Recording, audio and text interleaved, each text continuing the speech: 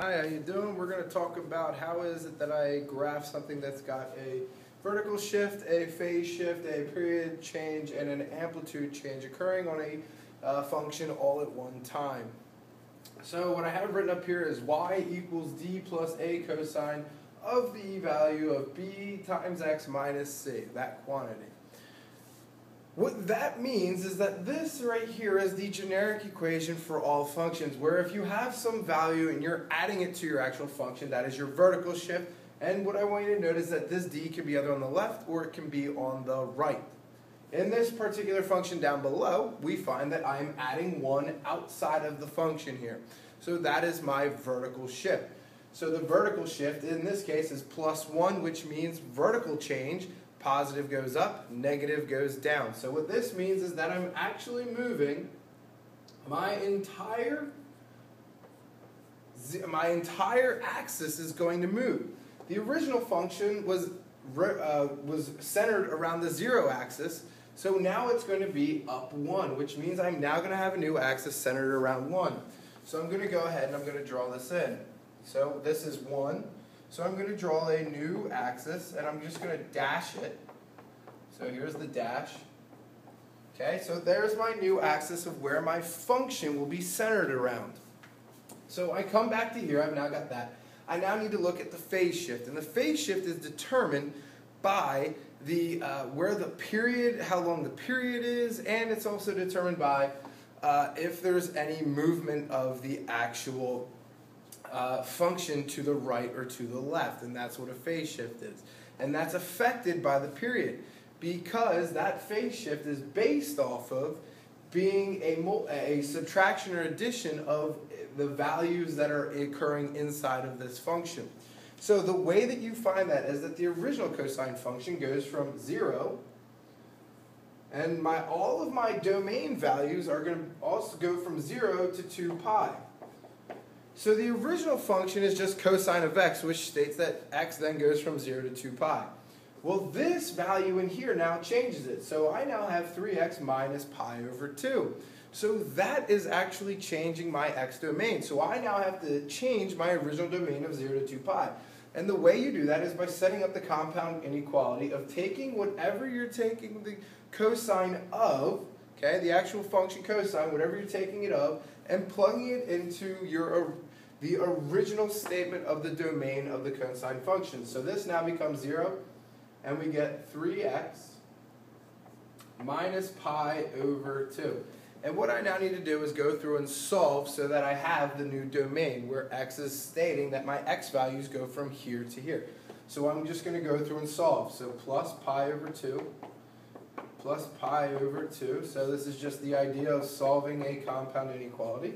And I've got pi over 2 is less than or equal to 3x, which is less than or equal to 5 pi over 2.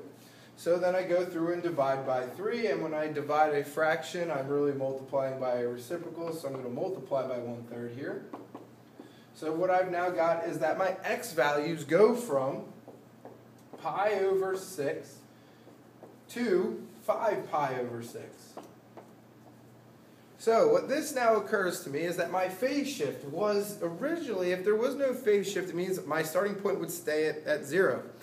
But there is a phase shift, and the way you have a phase shift is you compare your starting point with your new starting point. And my phase shift started at zero and ended at pi over 6, so the phase means that I have a shift of pi over 6 to the right. Now remember that pi over 6 to the right means that uh, the phase shift, which is your horizontal shift, is talking about that it started at 0 and it went to the right. And it goes to the right because this is a positive pi over 6. If it were negative, then my shift would obviously be to the left. So I've got pi over 6. So period. Let's take a look at period. Two ways you can find period. If you have a shift here, you can talk about your periods being your starting and your ending point. So if you took 5 pi over 6 minus pi over 6, you would find that that answer is 2 pi divided by 3 because 4 pi over 6. 5 minus 1 is 4, 4 over 6 is 2 thirds, so my period is 2 pi over 3. Or the other way, and I do both of them just to check to make sure I did this work correctly, is that you take the coefficient of x, which tells you how many cycles are in 2 pi, and you divide it. So you take 2 pi divided by 3. And 2 pi divided by 3, well, there it is, 2 pi divided by 3. The interval is how much each step it takes to go from your maximum to your zero, to your minimums, to your maximums, to your zeros, and so forth. So the way you do that is you break your period into four equal amounts. So 2 thirds broken into four equivalent amounts happens to be 2 pi over 12. So when you divide this by 4, you get 2 pi over 12. Well, that breaks down into being pi over 6. So I'm going to write this as pi over 6. So my interval shift, my interval lengths are pi over 6. Amplitude, amplitude is the multiplier of your function. So the amplitude here is 2 pi or is 2 thirds. So up here I now have my amplitude is 2 thirds. So I now have everything I need to go through and graph. I've got my axis centered at 1. I know I've got a phase shift of pi over 6, so my new starting point is pi over 6. Now, before I go to the end, what I'm going to do is start using my intervals. So my intervals are pi over 6 each time. So pi over 6. I then make another interval of pi over 6. So which is 2 pi over 6? Which is pi over 3. I keep going. Pi over 6 to 2 pi over 6 is 3 pi over 6, which makes this pi over 2. Keep on going. And then I get 3 pi over 6, I get 4 pi over 6, which is 2 pi over 3. And then last but not least, I add another pi over 6, and I get to 5 pi over 6. So now that I have my axis completely labeled, I'm now going to go through and utilize my amplitude so I can go ahead and graph. So the amplitude for the cosine means that my function, since it's positive, is going to start at a maximum. So I start up a maximum.